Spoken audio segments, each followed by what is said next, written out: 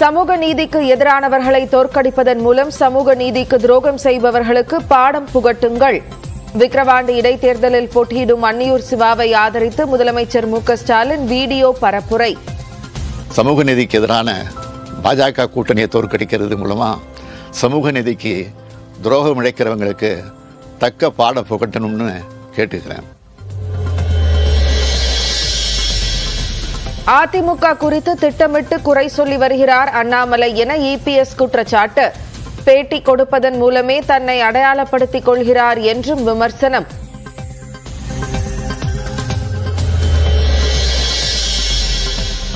நம்பிக்கை துரோகி என்ற பெயர் இபிஎஸ்க்கு மட்டுமே பொருந்தும் என அண்ணாமலை பதிலடி.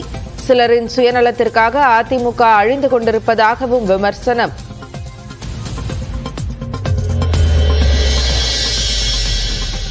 கள்ளக்குறிச்சியில் கள்ளச்சாராயம் குடித்து பலியானவர்களின் குடும்பத்திற்கு எப்படி பத்து லட்சம் ரூபாய் இழப்பீடு வழங்க முடியும்? தமிழ்நாடு அரசுக்கு சென்னை உயர்நீதிமன்றம் கேள்வி.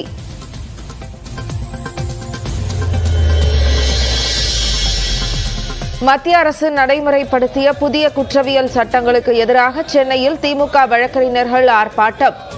உயர்நீதிமன்ற மதுரை கிளை வழக்கறிஞர்களும் நீதிமன்ற புறக்கணிப்பு போராட்டம்.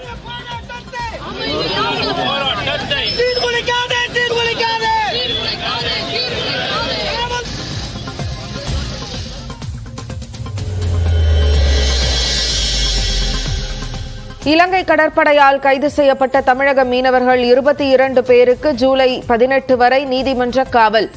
இரண்டாவது முறையாக ஆஜர்படுத்திய நிலையில் ஊர்காவல்துறை நீதிமன்றம் உத்தரவு.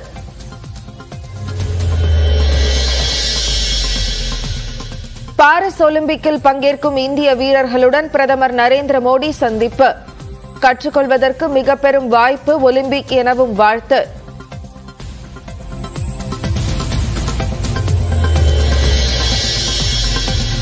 டெல்லி மதுபான கொள்கை முறைகேடு வழக்கில் ஜாமீன் கோரி உயர்நீதிமன்றத்தை நாடிய முதலமைச்சர் அரவிந்த் கெஜ்ரிவால். சிபிஐ பதிலளிக்க உத்தரவு.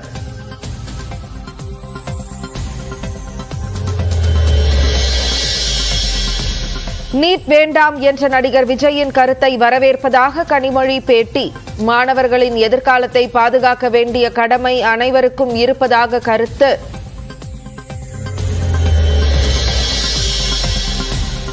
தனியாருக்கு பதில் ஆவினுக்கே பால் வழங்க வேண்டும் என விவசாயிகளுக்கு அமைச்சர் மனோ தங்கராஜ் கோரிக்கை. அனைத்து காலங்களிலும் ஒரே மாதிரியான விலையை ஆவின் கொடுத்து வருவதாகவும் விளக்கம்.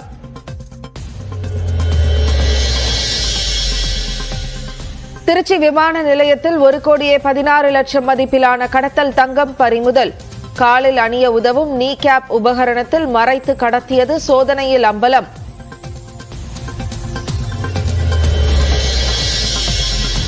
ஹத்ராஸ் கூட்ட நெரிசலில் சிக்கி பாதிக்கப்பட்டவர்களை சந்தித்த காங்கிரஸ் மூத்த தலைவர் ராகுல் காந்தி.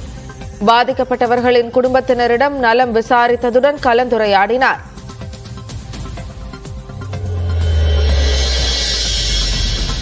பிரிட்டன் நாடாளுமன்ற தேர்தலில் தொழிலாளர் கட்சி சுமார் நானூறு இடங்களில் முன்னிலை. பிரதமராகும் கீர் ஸ்டார்மருக்கு ரிஷி சுனக் வாழ்த்து.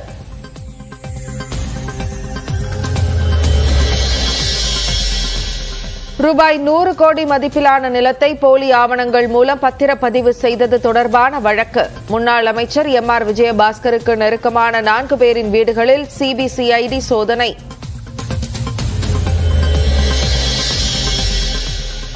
உதகையில் குதிரை பந்தய மைதானத்துக்கு சீல் வைப்பு. எண்ணூற்றி இருபத்தி இரண்டு கோடி ரூபாய் குத்தகை பாக்கி செலுத்தாததால் நீதிமன்ற உத்தரவுப்படி வருவாய்த்துறை நடவடிக்கை. சிதம்பரம் அண்ணாமலை பல்கலைக்கழக போலி சான்றிதழ் வழக்கு சிபிசிஐடிக்கு மாற்றம். ஏற்கனவே இருவர் கைது செய்யப்பட்ட நிலையில் மேலும் பலருக்கு தொடர்பிருக்கலாம் என்பதால் நடவடிக்கை.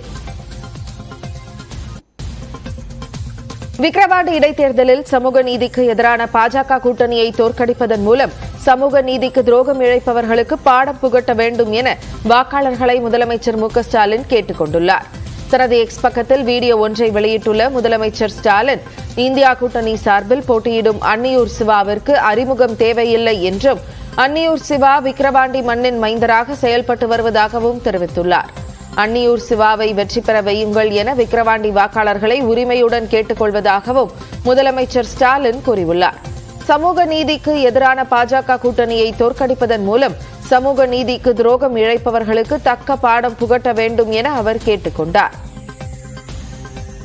பத்தாம் நாள் நடைபெற உள்ள விக்கிரவாண்டி தொகுதி இடைத்தேர்தலில் திராவிட முன்னேற்ற கழகத்தோட ஆற்றல் மிக்க வேட்பாளர் அன்னியூர் சிவா என்கிற சிவசண்முகத்துக்கு உங்கள் உள்ளம் கவர்ந்த உதயசூரியன் சின்னத்தில் வாக்களித்து வெற்றி பெற செய்யணும்னு உங்களை அன்போடு கேட்டுக்கிறேன். சமூக நீதிக்கு எதிரான பாஜக கூட்டணியை தோற்கடிக்கிறது மூலமாக சமூக நீதிக்கு துரோகம் இழைக்கிறவங்களுக்கு தக்க பாடம் புகட்டணும்னு கேட்டுக்கிறேன். ஒரு கோடியே பதினாறு லட்சம் பேர் மகளிர் உரிமை தொகை பெறும் நிலையில் புதிதாக ஒரு லட்சத்து நாற்பத்தி எட்டாயிரம் பேர் பெற உள்ளதாகவும் அவர் தெரிவித்துள்ளார். பெண்களுக்கு இலவச பேருந்து பயணம் புதுமை பெண் திட்டம் மூலம் அனைத்து குடும்பங்களும் பலனடைவதாகவும் முதலமைச்சர் மு ஸ்டாலின் குறிப்பிட்டுள்ளார். திருச்சி விமான நிலையத்தில் ஒரு கோடியே பதினாறு லட்சம் ரூபாய் மதிப்பிலான கடத்தல் தங்கம் பறிமுதல் செய்யப்பட்டுள்ளது. சிங்கப்பூரிலிருந்து திருச்சி சர்வதேச விமான நிலையத்திற்கு வந்த ஸ்கூல் ஏர்லைன்ஸ் விமானத்தில் வந்த பயணிகளிடம் சுங்கத்துறை அதிகாரிகள் சோதனை மேற்கொண்டனர். அப்போது ஆண் பயணி ஒருவரிடம் சோதனை மேற்கொண்ட போது அவரிடமிருந்து கால் மூட்டுக்கு போடும் நீ கேப்ஸ் வடிவில் கடத்தி வரப்பட்ட ஒரு கோடியே பதினாறு லட்சம் ரூபாய் மதிப்பிலான ஒரு கிலோ அறுபத்தைந்து கிராம் எடையுள்ள தங்கம் பறிமுதல் செய்யப்பட்டது. இதையடுத்து அந்த நபரிடம் அதிகாரிகள் தொடர் விசாரணை மேற்கொண்டு வருகின்றனர். தமிழ்நாட்டில் விவசாயிகள் பாலினை ஆவணுக்கே வழங்க வேண்டும் என்று பால்வளத்துறை அமைச்சர் மனோ தங்கராஜ் வலியுறுத்தியுள்ளார். சென்னையில் செய்தியாளர்களிடம் பேசிய அவர் தனியார் நிறுவனத்தினர் பாலுக்கு நிரந்தரமாக ஒரு விலையை தரமாட்டார்கள் என்றும் ஆவின் நிரந்தரமாக ஒரே விலையை கொடுக்கும் என்றும் கூறினார். பெருங்குடி மக்களை கேட்டுக்கொள்வதெல்லாம் அவர்கள் வந்து அந்த பாலை வந்து ஆவினுக்கு வழங்க வேண்டும் என்பது என்னுடைய கோரிக்கை. இப்போ நீங்கள் வந்து அதனால் நாங்கள் வந்து மில்க் ஹேண்ட்லிங் கெப்பாசிட்டி வந்து எழுபது லட்சமாக உயர்த்துவதற்கான தீவிர பணிகள் நடைபெற்று வருகிறது. அவங்க இந்த பால் நம்மகிட்ட கொள்முதல் பண்ண தந்தாங்கன்னா நம்ம அதற்கான உரிய விலை. இப்போ சாதாரணமாக நீங்கள் பார்த்தீங்கன்னா தனியார் நிறுவனங்கள் இல்லை சின்ன சின்ன அமைப்புகள் வந்து பால் வாங்குவது விவசாய பெருங்குடி மக்களுக்கு ஒரு முறையான குறைந்தபட்ச ஆதார விலையை எல்லா சீசன்லையும் வழங்காது. ஆவின் மட்டும்தான் ஆண்டு முழுவதும் ஒரே விலையை கொடுக்கக்கூடிய ஒரே அமைப்பு. எம் ஆர் விஜயபாஸ்கர் மீதான நில மோசடி புகார் தொடர்பாக கரூர் மாவட்டம் தாளப்பட்டியில் உள்ள யுவராஜ் வீடு தோட்டக்குறிச்சி அருகே உள்ள செல்வராஜ் வீடு ஆகிய இடங்களில் சிபிசிஐடி போலீசார் சோதனை மேற்கொண்டனர். கரூரில் பிரகாஷ் என்பவருக்கு சொந்தமான நூறு கோடி ரூபாய் மதிப்புள்ள இருபத்தி இரண்டு ஏக்கர் நிலத்தை முன்னாள் அமைச்சர் எம் ஆர் விஜயபாஸ்கர் போலி ஆவணம் கொடுத்து பத்திரப்பதிவு செய்துள்ளதாகவும் இந்த நிலத்தை யுவராஜ் ரகு செல்வராஜ் மற்றும் மாரப்பன் ஆகிய நான்கு பேர்கள் மீது பதிவு செய்யப்பட்டதாகவும் கூறப்படுகிறது. இதுகுறித்து காவல் நிலையத்தில் அளித்த புகாரின் அடிப்படையில் முன்னாள் அமைச்சர் எம் ஆர் விஜயபாஸ்கர் அவரது தம்பி சேகர் உட்பட பதிமூன்று பேர் மீது வழக்கு பதிவு செய்யப்பட்டுள்ள நிலையில் இவர்கள் அனைவரும் கடந்த இருபத்தைந்து நாட்களுக்கும் மேலாக தலைமறைவாக இருந்து வருகின்றனர். இந்த வழக்கு சிபிசிஐடிக்கு மாற்றப்பட்டது. இந்த நிலையில் இன்று தாளப்பட்டியில் உள்ள யுவராஜ் வீட்டில் சிபிசிஐடி போலீசார் சோதனை மேற்கொண்டனர். இதேபோல் தோட்டக்குறிச்சி அருகே உள்ள செல்வராஜன் வீட்டிலும் சோதனை நடத்தப்பட்டது. இதற்கிடையே முன்னாள் அமைச்சர் எம் ஆர் விஜயபாஸ்கர் முன்ஜாமீன் கேட்டு கரூர் நீதிமன்றத்தில் தாக்கல் செய்யப்பட்ட மனு.